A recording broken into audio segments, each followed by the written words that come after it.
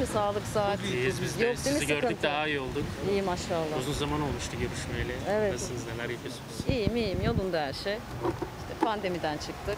Görüşmeler oldu. Bir şey neticelenmedi. E, Şükür ama yolunda her şey.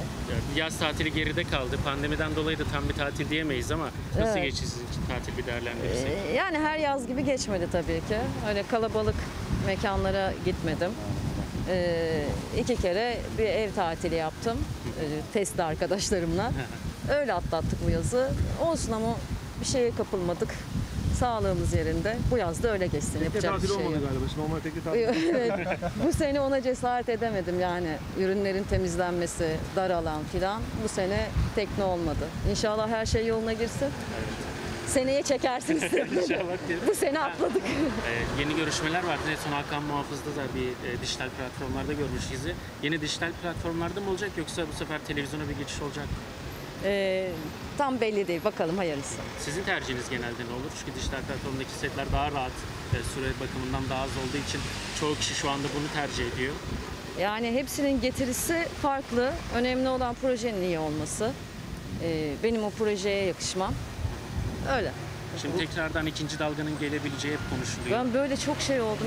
Şöyle, Şöyle gelin aynen. boynum tutuldu. Şimdi hep ikinci dalganın da geleceği konuşuluyor. Evet, Buna hazırlık yapıldı mı? Ne gibi hazırlıklar yaptınız siz de? Yani yapacak bir hazırlık yok. Geçen kışı nasıl atlattıysak bunu da öyle atlatacağız. Evde geçireceğiz. Ee, doğrusu o zaten. O yüzden bir taraftan da şey diyorum yani sette olan insanlar için çok zor bir durum yani. Her gün test yapmak, birilerinin pozitif çıkması. Yani o yüzden eğer bir dalga gelecekse bu kışı da evde geçireceğiz. Yapacak bir şey yok. Bize bana özel bir şey değil. Bütün dünya hepimiz böyleyiz. Umarım bir an önce geçer. Sizin çalışmakla alakalı bir korkunuz, endişeniz var mı bununla alakalı yani Covid'le alakalı? Şimdi bu dönemde çalışmak biliyorsunuz zor gibi gözüküyor ama Yani zor tabii ki stresi var. Ee, ama diğer çalışan arkadaşlarım nasıl çalışıyorsa, set olursa ben de öyle. Çalışacağım, yapacak bir şey yok. Kesinlikle. bu arada da yakın arkadaşınız sinemanın yakında anne olacak. Siz de teyzeliğe hazır mısınız? Onu soralım. Hazırım, hazırım. Hazırım. Muhakkak konuşuyorsunuzdur. Sinemanın çok şey yani uğraşıyordur işte odası modası heyecanlıdır. Sizin de böyle bir heyecanınız var mı? Çok yakın olduğunuzu soruyorum. e var tabii. Bekliyoruz yeğenimizi. Peki efendim Hazal Kaya'nın da bir açıklaması var biliyorsunuz gündem oldu. Ee, başrol oyuncuları kilolu kilolu oyunculara başrol verilmiyor diye. Siz bu düşünceye katılıyor musunuz? Yani ya da hiç öyle bir rolse, böyle bir şeyle? öyle bir rolse zaten aranılan daha kilolu insanlar oluyor. Ee, dediğini de anlıyorum. Haklılık payı var tabii ki. Siz hiç karşılaştınız mı peki böyle saç renginizden olsun, kilonuzdan olsun hiç e, istediğiniz bir rolü e, reddedilme durumu oldu mu size? Yok.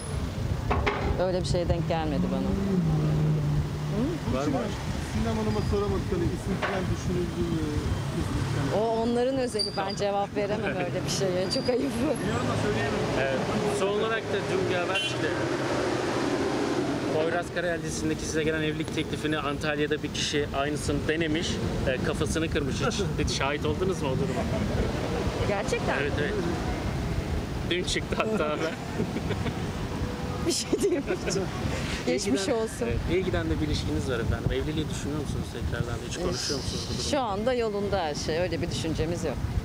Güzel gidiyor. Tamam. Peki çok teşekkürler. Tabii. Çok ben sağ olun. teşekkür ediyorum. sağ olun. Kolay gelsin. Çok teşekkürler. Çok teşekkürler. Pardon buradayım. Burçin Hanım bu sefer ben kısa kaldım. Pardon. Kolay gelsin. Çok mersi. Çok Teşekkür teşekkürler. ederim. Sağ olun.